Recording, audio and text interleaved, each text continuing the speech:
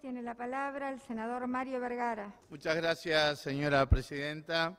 En esta oportunidad nos referiremos a la preocupación que nos genera un conjunto de hechos acaecidos en los últimos días que tienen como protagonista a los servicios policiales. El 9 de abril, tres policías fueron imputados por un procedimiento irregular en noviembre de 2020 en Pinamar, Canelones.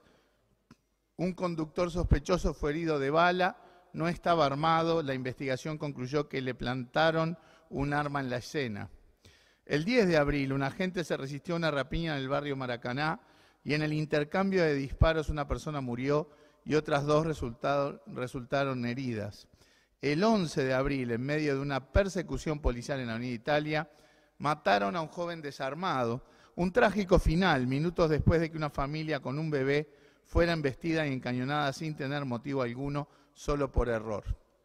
La investigación judicial avanza en cada caso, mientras se agregan otros daños irreparables. Una niña de 12 años murió por una bala perdida, por enfrentamiento entre policías y delincuentes, y un hombre de 29 años en una parada de ómnibus falleció a causa de otra bala perdida de un policía que resistió una rapiña. Un hombre se atrincheró en una pensión del centro de Montevideo con cuchillos y la policía lo acribilló a balazos. Los casos han dejado de ser hechos aislados. El Poder Legislativo no puede ni debe permanecer ajeno. No lo decimos únicamente nosotros, señora Presidenta.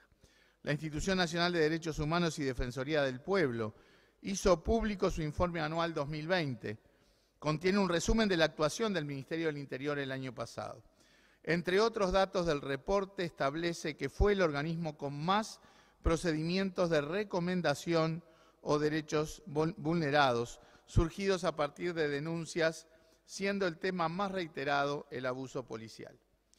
¿Qué policía queremos? ¿Qué política de seguridad convalidamos como sociedad?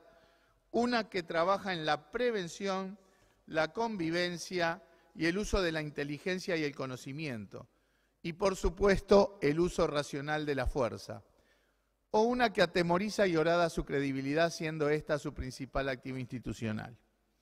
En su momento compartimos aquí los reparos que nos merecía la ley de urgencia en materia de accionar policial.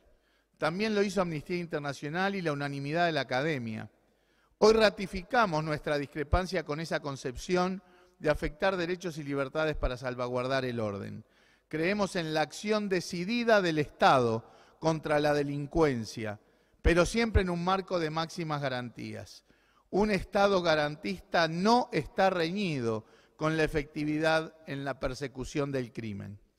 Respaldar a la policía, claro que sí, no es alentarla a que se despliegue indiscriminadamente, por el contrario, es dotarla de equipamiento, competencia, formación y condiciones de trabajo que permitan profesionalizar su accionar.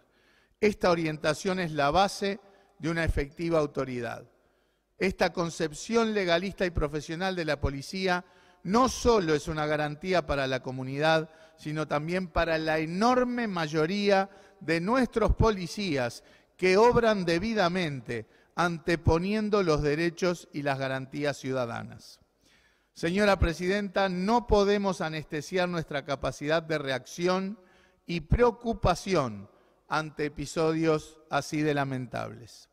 Las normas aprobadas en estos meses, el discurso en lógica de hinchadas, los episodios lastimosos y evitables que se acumulan, solo alentarán un obrar cada vez más represivo y menos garantista con resultados irreparables. Solicito que mis palabras pasen al Ministerio del Interior, a las jefaturas de policía departamentales, al Sindicato de Funcionarios de Policías de, Montevideo, SIFPOM, a la Fiscalía General de la Nación, a la Presidencia de la República, al Ministerio de Educación y Cultura y a la Suprema Corte de Justicia. Muchas gracias. Procedemos a votar lo solicitado. Por la afirmativa, sírvanse en expresar. 28 en 28 afirmativo.